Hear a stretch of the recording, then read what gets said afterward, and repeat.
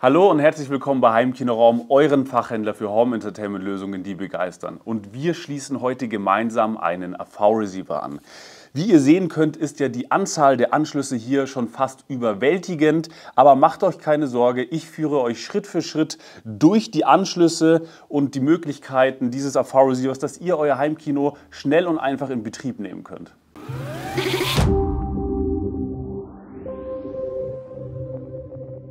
Beginnen wir also zuerst mit den Lautsprecheranschlüssen. Wir installieren heute ein 5.1.2 Dolby Atmos System, fünf Lautsprecher auf der unteren Ebene, ein Subwoofer und zwei Deckenlautsprecher, die wir hier eben in Betrieb nehmen möchten. Der AV-Receiver hat elf Anschlüsse, neun Endstufen. Lasst euch davon nicht beirren, so viel brauchen wir gar nicht. Wir fangen jetzt erstmal damit an, unsere Lautsprecher ja, zu sortieren. Ich habe hier also unglaublich viele Kabel hier vor mir liegen und da kommen wir erstmal zum ersten Tipp. Weil wenn ihr nicht wisst, welches Kabel zu welchem Lautsprecher gehört, was dann passiert, wenn ihr ja alles schon installiert habt, dann gibt es schon mal den ersten Tipp für euch. Ihr könnt euch eine Batterie nehmen und die hier tatsächlich einfach ansetzen an die Kabel.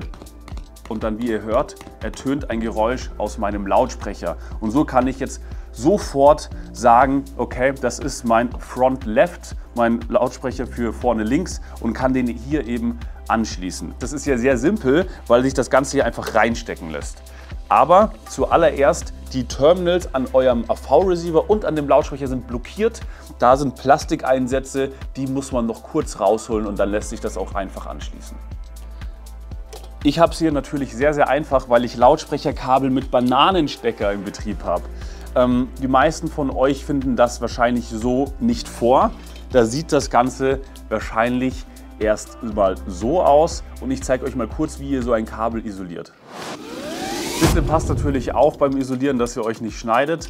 Meine Technik sieht wie folgt aus. Ich lege jetzt hier das Kabel auf meine Klinge und rolle das ganz leicht und vorsichtig, weil das Messer eh so scharf ist, hier darüber und kann das Ganze dann ganz simpel eben lösen.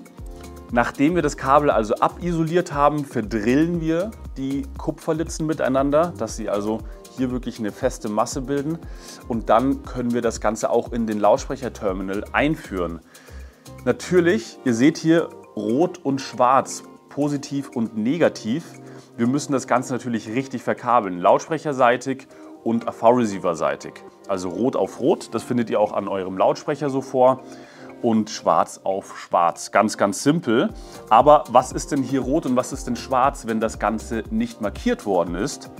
Es ist so, im Endeffekt kommt es ja aufs Gleiche raus, sind einfach zwei ähm, äquivalente Kupferstränge. Letztendlich nehmen wir aber immer das markierte Kabel als rotes Kabel. Das ist also hier die positive Seite. Hier steht jetzt zum Beispiel eine Produktbezeichnung drauf und das Prinzip gehen wir dann durch die ganzen Lautsprecheranschlüsse durch. Das, wo jetzt eine Beschriftung drauf ist. Manchmal ist es auch zum Beispiel mit, einer, mit einem schwarzen Strich markiert. Das ist immer die rote Seite. Wenn ihr es natürlich nicht schon eben so an eurem Lautsprecherkabel vorfindet mit Rot und Schwarz. Also die markierte Seite würden wir jetzt hier in den roten Terminal einführen und aufpassen, dass auch keine Litze irgendwie raus steht, sondern die ganzen Litzen hier sauber eingeführt werden und dann wird das Ganze auch schon zugedreht und der Lautsprecher wäre dann hier so ganz normal verkabelt.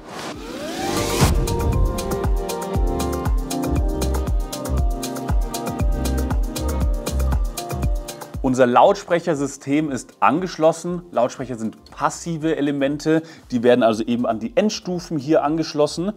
Aber unser Subwoofer, der hat ja eine Endstufe integriert. Der braucht also nur noch das Signal. Und hierfür gibt es die Pre-Out-Sektion.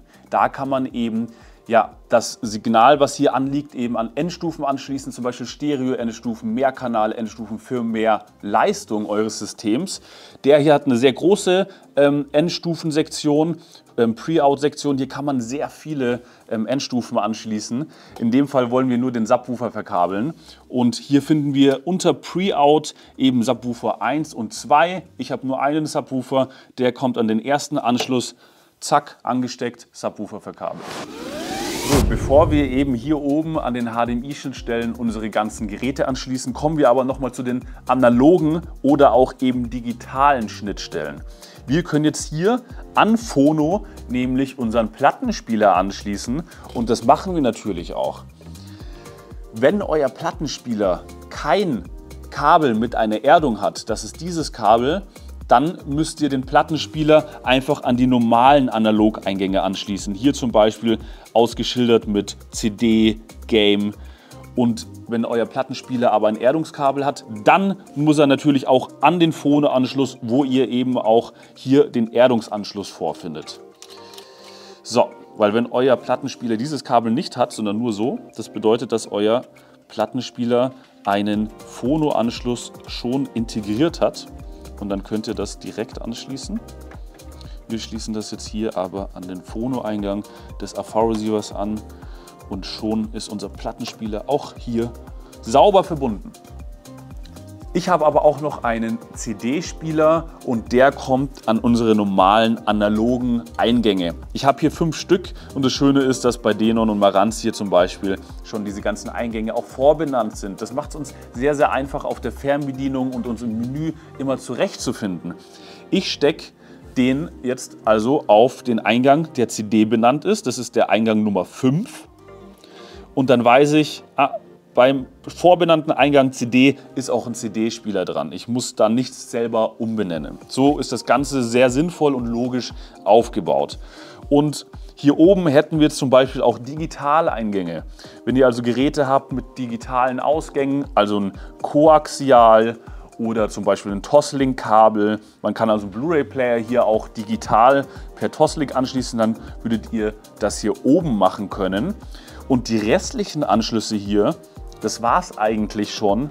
Wir haben nämlich hier noch jetzt wirklich alte analoge Videoeingänge für eine Super Nintendo zum Beispiel, wäre sehr, sehr cool. Und auch Komponent-Video-Ausgänge für einen Röhrenfernseher. Das findet man bei meisten AV-Receivern eigentlich nicht mehr.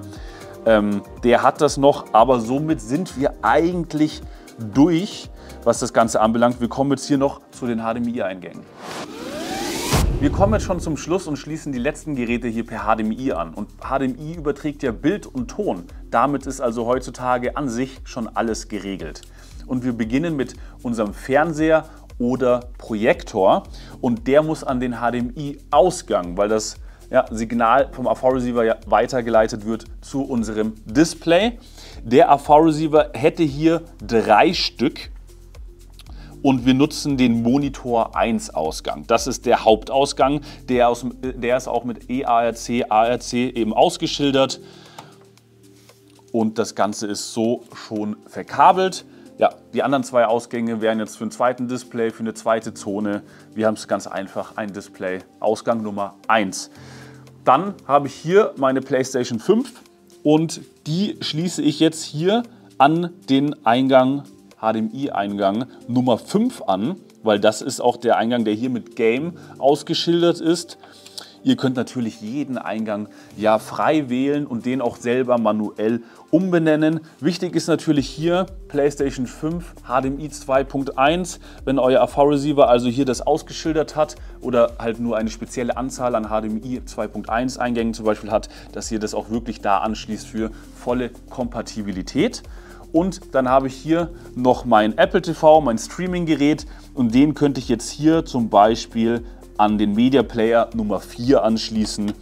In Summe ist das Ganze jetzt schon verkabelt, Beamer an Ausgang und an die Eingänge meine Quellgeräte. Ich habe jetzt noch genug Platz für DVD, Blu-ray, nochmal einen CD-Spieler oder auf Eingang 1 einen Kabelreceiver. Wie gesagt, schließt es an, wo ihr möchtet. Mit den vorbenannten Eingängen ist es natürlich sehr übersichtlich. Jetzt müsst ihr euren AV-Receiver natürlich nur noch an den Strom stecken und dann sollte das Ganze reibungslos funktionieren. Und wenn ihr euch mehr mit dem Thema Heimkino zu Hause im Wohnzimmer auseinandersetzen möchtet, schaut gerne auf unserem Kanal vorbei. Da findet ihr viele coole Videos, Reviews zu AV-Receivern etc. Lasst gerne ein Abo da und wir sehen uns beim nächsten Mal.